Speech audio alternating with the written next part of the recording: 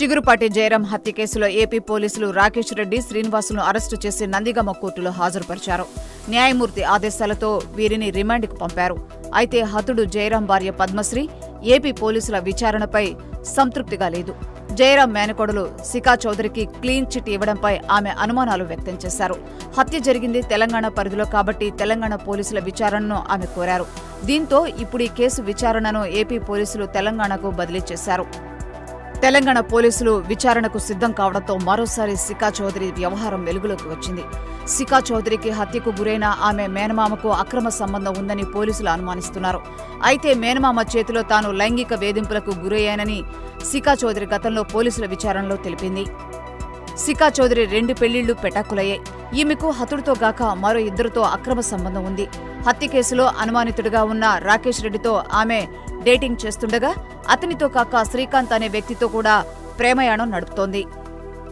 హత్య జరిగిన సమయంలో తాను శ్రీకాంత్తో లాంగ్ డ్రైవ్లో ఉన్నానని చెప్పింది. ఆమె అక్రమ సంబంధం వ్యవహారాలు ఈ హత్య కేసును అయోమయం చేస్తున్నాయి. సికా చౌదరిని హతుడు మేనమామ జయరాం తన కంపెనీలో డైరెక్టర్గా నియమించాడు. హత్య కేసులో నిందితుడు రాకేష్ రెడ్డికి చెప్పి నాలుగున్నర కోట్ల డబ్బు కూడా సికా చౌదరికి ఇప్పించాడు. అయితే సికా చౌదరి మాత్రం ఆ డబ్బును జయరాం తీసుకున్నాడని చెప్తోంది. ఇటీవల మరో పదెకరాల పొలం కూడా ఆమె పేరిట రిజిస్టర్ చేయించాడు. సికాకు నగరంలోని పలువురు ప్రముఖులతో కూడా సంబంధాలు ఉన్నాయి. మిస్టరీగా మారిన ఈ హత్య కేసులో హత్య చేసింది రాకేష్ రెడ్డి అని తేలుతున్న తెర వెనుక సూత్రధారి పాత్రధారి ఎవరున్న విషయం మాత్రం సికా చౌదరి చుట్టే తిరుగుతోంది.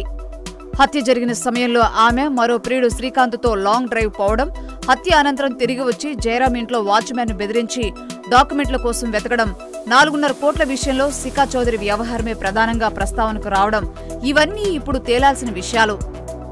సికా చౌదరి తనతో ఉంటూ లక్షలు కాజేసిందని పెళ్ళి చేసుకుంటానని చెప్పి మరొకరితో కలిసి తిరిగిందని నిందితుడు రాకేష్ రెడ్డి చెప్తున్నాడు.